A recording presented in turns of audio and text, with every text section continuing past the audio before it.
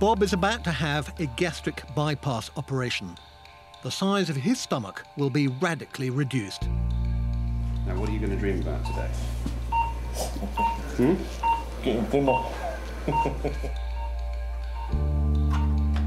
His doctors expect the operation to have a dramatic effect on his appetite. For Bob and his family, it's the best hope of bringing about the health changes that he desperately needs. Okay, Dizzy coming? Yeah. Okay. Take three slow, deep breaths. At the end of the third one, things will be much better. Drifting gently off to sleep. Good.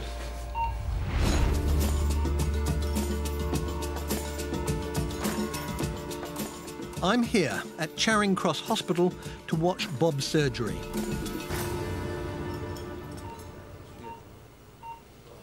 His surgeon is leading bariatric consultant, Mr. Ahmed Ahmed. Uh, all right. John, are we ready to start? He will operate on Bob using the latest techniques in keyhole surgery. So I've gone through the skin, and the yellow stuff there is fat. We're going to go through the fat, and then through the abdominal wall muscle there. First quick peek inside, we're going to see that all the yellow stuff here you see is fat. The first stage of the operation is to shrink the size of the stomach. That little pale pink organ coming up, that's your stomach right there. And you're essentially going to reduce the size of that, eh? Yes, absolutely. By what sort of amount? Uh, we'll probably make it about a tenth of its normal size. 10% of what it is at the moment. Wow, that's quite radical, isn't it? Yes. The total volume is going to be about 20 mils, which is about three or four tablespoons. So 90% of the stomach will just be kind of left there inactive, will it? Exactly. It's, it's still going to have its blood supply, and it's still going to make, uh, you know, uh, gastric juices, uh, but it'll never see food again. And, surprisingly enough, it's not just Bob's stomach they're affecting. Now, you might think that just by reducing the size of the stomach, that's how it's going to sort out Bob's problems, because smaller stomach, you eat less, it's sort of straightforward. But actually, the mechanism by which it works is completely different. And it's only relatively recently that they've discovered why doing gastric bypass is so effective.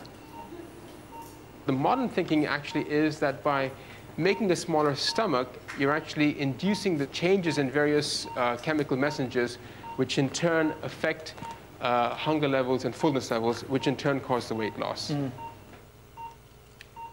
So, as well as reducing the size of Bob's stomach, the point of the operation is to change the levels of certain gut hormones.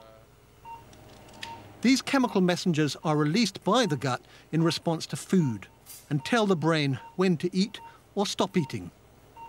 One of the hormones, ghrelin, makes you feel hungry. We think that ghrelin is actually being produced from this part of the stomach up here. Right. This fundus. This is called the fundus of the stomach.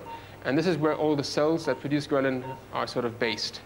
Now, what we think we're doing is we're actually separating that part of the stomach completely from ever seeing food. So the food will never touch those cells that make the ghrelin. Once they're isolated, the ghrelin cells no longer function normally.